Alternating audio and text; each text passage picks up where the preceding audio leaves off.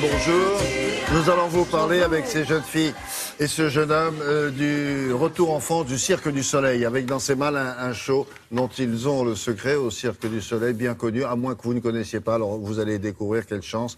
Alors vous avez été voir une avant-première parce que comme ils sont là dans quelques jours, ils n'ont pas eu le temps euh, de vous laisser entrer. Par contre, ils vous ont ouvert les portes comme d'habitude parce que vous passez par les coulisses et c'était à Bruxelles. C'était à Bruxelles, exactement. Gros succès, bien sûr. Évidemment, annoncé. L'univers est si fort que, que voulez-vous 15 millions de personnes ont déjà été voir un spectacle du Cirque du Soleil à travers le monde. Donc autant vous dire qu'on n'est pas très inquiet pour cette entreprise de divertissement canadienne fondée en 84. Au départ, c'est deux artistes de rue. Et maintenant, 30 ans plus tard, c'est 4000 personnes, 1300 artistes. C'est une énorme machine. Guy La Liberté est le fondateur, mais quand on, on regarde un peu les infos, on le, on le considère comme un guide. Je trouve ça un peu bizarre. Mais bon, voilà. Et donc voilà. Un guide Quoi, qu'il y a un côté guide. gourou Il y a marqué Guy la liberté, Non. guide. Guide Ouais. Ah non, mais peut-être dans le langage euh, de- outre-Atlantique de nos cousins, Non, ça, je veut vous dire, ça veut dire de le chef, le, Bah, celui, sans qui, doute, c'est celui plus ça. qui conduit la troupe. un peu c'est comme pas guide, c'est ça c'est que vous pas voulez nous gourou. dire. Voilà, c'est ça, comme, comme, Ah comme, ouais. comme vous, patron. Et donc, donc cette 33e production du Cirque du Soleil est très très féminine. 70% de la, de la- de la distribution est composée de femmes, Comme ici. acrobates et musiciennes. Et alors voilà, il est resté fidèle à la vision de départ. C'est du cirque contemporain, pas d'animaux. Beaucoup de jeux d'acteurs, des grands acrobates. euh, Et de la musique. Et de la musique, live, toujours, en direct. Et, euh, et donc voilà, c'est voilà, c'est une grosse machine du Cirque du Soleil qui, comme 6 des 18 productions qui tournent en ce moment dans le monde, est sous chapiteau. C'est-à-dire que c'est 65 camions qui traversent les océans euh, dans tous les sens, qui montent dans 65 les camions. avions. 65 camions, 115 personnes. Enfin, c'est une énorme Ils vivent, machine. en, ils vivent en troupe. euh, quand- Ils vivent en troupe, c'est 19 nationalités, donc on entend du chinois, du russe, de- du français, de l'anglais, du québécois, je sais pas faire l'accent. J'aurais bien aimé. Euh, pu t'entraîner. J'aurais pu, mais je, je- Mais non. Vous je, faites- je- je William préfère garder, ma dignité Oui. si vous voulez bien. Comment on dit Comment ça va bien? Tout à l'heure. Donc voilà. salaire on fait ça souvent Voilà, ici. eh euh, voilà, c'est pas la peine de se moquer tout le temps. Je vous emmène à Bruxelles, on fait ça Voilà. L'accent belge, Bruxelles? Non, bon allez, Bruxelles, c'est chapiteau avant l'arrivée à Paris, j'ai dit.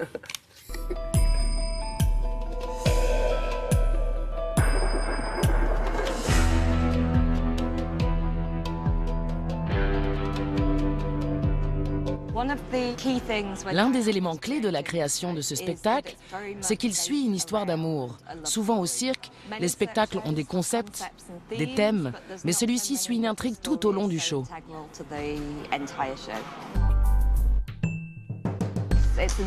Le spectacle est inspiré de la tempête de Shakespeare, mais aussi de la flûte enchantée.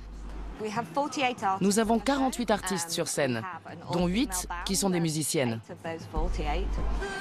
Certains des numéros sont uniques au monde. Par exemple, nous avons un ensemble de femmes spécialistes des sangles aériennes.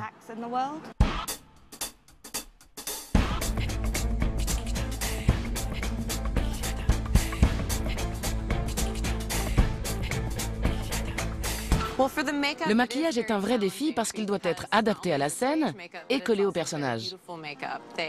Les artistes ont reçu une formation et suivent des étapes très précises pour les réaliser.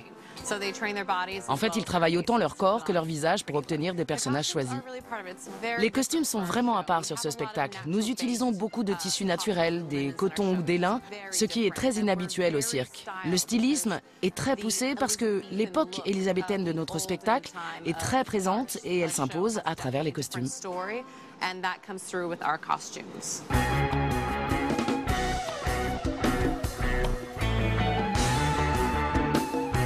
La planche coréenne. Une planche de bois qui fait à peu près euh, 40 cm de large, 50 cm de large. On se propulse dans les airs jusqu'à ben, 5, 6, 7 mètres même des fois. Puis on fait des figures acrobatiques. Heureusement, avec, euh, avec le cirque, euh, les costumes sont vraiment faits pour nous aider le plus possible à nous supporter dans notre, euh, dans notre performance et pour qu'on soit le plus confortable possible, le plus à l'aise possible.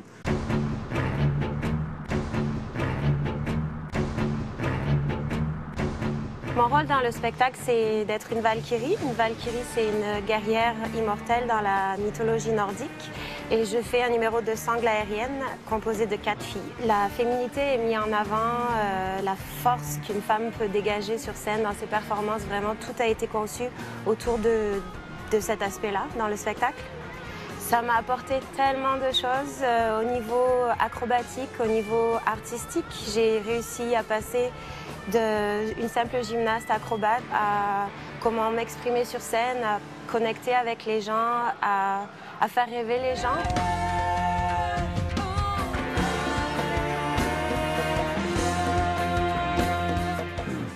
Alors, ils sont où et jusqu'à quand? Ils sont jusqu'au 13 décembre sur la plaine des Jeux de Bagatelle, juste à l'extérieur de Paris, dans le 16e arrondissement. Donc voilà, ça plaît forcément, hein, c'est un succès, je vous le disais. Et pour tous les âges. Tous les âges, ça marche pour Merci tout le beaucoup, monde. c'est ce qu'on dit en général à la télé.